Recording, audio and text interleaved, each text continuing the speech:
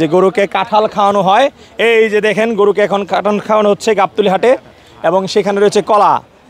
রাজাবাবু কলা খাও কলা খাও। এই যে এই যে এই যে কলা খাচ্ছে। খাও খাও। এই তো গুড গুড। বিচি দেন দেন দেন বিচি দেন। ওজন কত রুক ভাই? তেরোশো কেজি। তেরোশো কেজি? জি। একটু আগে না বারোশো কেজি বলছিলেন?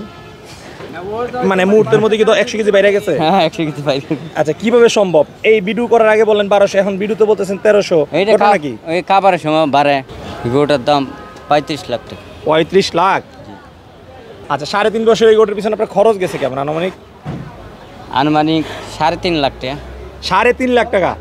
সাড়ে তিন বছরে সাড়ে তিন লাখ টাকা খরচ করছেন আর গরুর দাম চাইতেছেন পঁয়ত্রিশ লাখ। আপনি তো এক গরু বিক্রি করে ভাই কুটিপুতি হয়ে যাবেন। কোটিপতি আল্লাহ দিলে তো ভাই গরুটাকে খাওয়ান কি? কাঁঠাল কলা চিনি। কাঁঠাল কলা চিনি। আচ্ছা ভাই, এই যে পঁয়ত্রিশ লাখ টাকা দাম চাইছেন বাংলাদেশের জাতীয় ফল কাঁঠাল খাওয়ার দিকে এত দাম নাকি?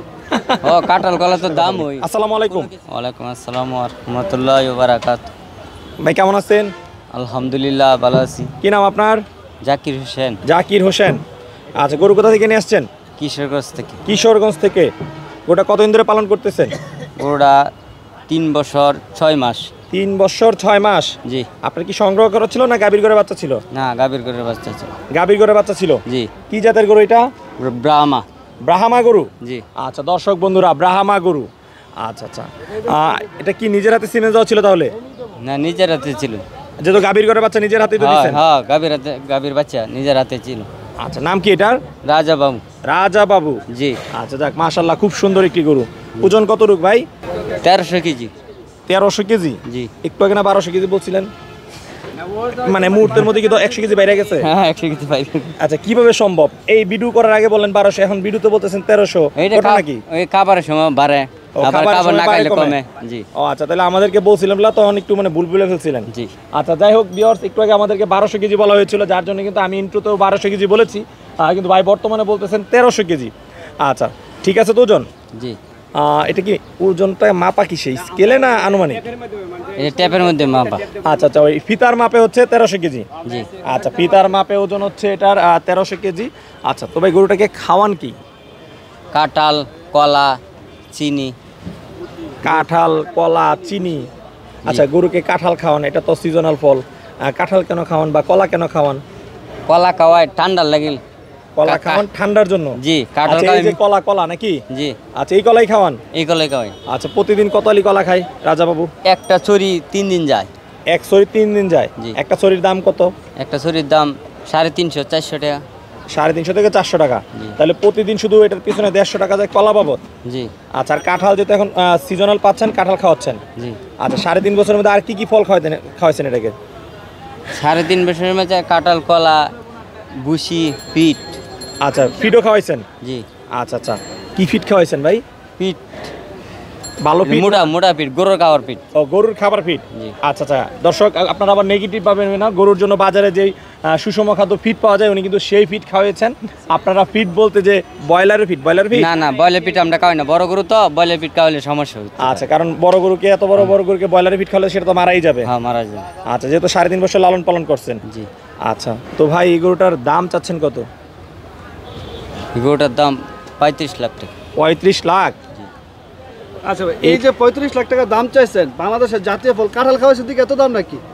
ও কাঁঠাল কলা তো দাম ওই। কোনো কিছু কি কমে কিনা যায়? সব দামে কিনা লাগে। সব দামে কিনা লাগে? জি বুঝেও তো দামে কিনা লাগে। আচ্ছা বুসিও দামে কিনা লাগে? জি। আচ্ছা সাড়ে তিন বছর এই গরুটার পিছনে আপনার খরচ গেছে কেমন আনুমানিক? আনুমানিক সাড়ে তিন লাখ টাকা। সাড়ে তিন লাখ টাকা? জি। সাড়ে তিন বছরে সাড়ে তিন লাখ টাকা খরচ করছেন আর গরুর দাম চাইতেছেন পঁয়ত্রিশ লাখ। আপনি তো এক গরু বিক্রি করে ভাই কুটিপুতি হয়ে যাবেন। কোটিপতি আল্লাহ দিলে আল্লাহ দিলে হবে? হ্যাঁ। আচ্ছা দোয়া করি আপনারা গরু বিক্রি করে কুটিপতি হন। তো আসলে এরকম দাম চাইলে কি গরু বিক্রি করতে পারবেন? না আমরা চার দিয়ে দিব না এই যে দাম ছোট করে যান যাতে গরু বিক্রি হয়ে যায়। এরকম সাড়ে তিন লাখ টাকা আমি মানলাম পাঁচ লাখ টাকাই খরচ হচ্ছে আপনি পনেরো লাখ টাকা চান যাতে আট দশ লাখ টাকা বিক্রি করতে পারেন। কিন্তু আপনি চান পঁয়ত্রিশ লাখ কেউ তো দাম বলারই সাহস পাবে না। না এটার দাম তো বলারই লাগে। দাম বলা লাগে? জি। আচ্ছা মানে ঘটনা কি? আপনি বাড়ি থেকে নিয়ত করে আসছেন যে গরু যাই হোক আমি দাম দিয়ে গাবতুলি হাট কাপাই দেবো এরকম কিছু? না না কাপাই দিব না। কারণ এখন পর্যন্ত কিন্তু হাটে যা তাই বিক্রি করে হাটে যা আছে তাই।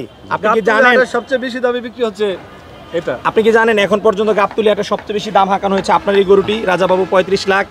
এর চেয়ে বড় বড় গরু কিন্তু আমরা এত দাম হাঁকাতে দেখি নাই। এই বিষয়ে কি বলবেন? কি বললেন? মানে আমরা বলছি যে এর চেয়েও বড় বড় গরুর দাম কিন্তু এর চেয়ে কম হাঁকানো হচ্ছে। আর এটাই সবচেয়ে বেশি দাম হাঁকানো হচ্ছে এখন পর্যন্ত হাটে যে কটা বড় বড় গরু আসছে। মানে সবচেয়ে বেশি দাম হচ্ছে আপনার এই রাজাবাবুর। এই দামের বিষয়ে কি বলবেন? এই যে দর্শকরা কমেন্ট করে যে আপনারা যখন বেশি দাম হাঁকান যে প্রান্তিক খামারিরা গরু বিক্রি করতে পারে না শুধুমাত্র এরকম বেশি দামের কারণে। তো আসলে বেশি দাম চলে তো গরু বিক্রি হয় না কাস্টমারও আসে না। কাস্টমার তো আসবে কাস্টমার আইসা দুজু বলে বাজারে যেভাবে এভাবে বিক্রি করতে আচ্ছা বাজারে যেভাবে খায় আচ্ছা দর্শক বন্ধুরা উনি মাত্র আজকে আসছে। আপাতত হাট দেখলেই বুঝতে পারবে যে পঁয়ত্রিশ লাখ টাকা আচ্ছা আচ্ছা। তাহলে পরবর্তীতে দাম আরও কমবে নাকি? কমবে। আচ্ছা ঠিক আছে। আমরা পরবর্তীতে এটার আপডেট আবার আপনাদেরকে জানাব যে পরবর্তীতে এটার দাম কত চাওয়া হচ্ছে। আপাতত আজকে ওনারা গরুটা দেখুক।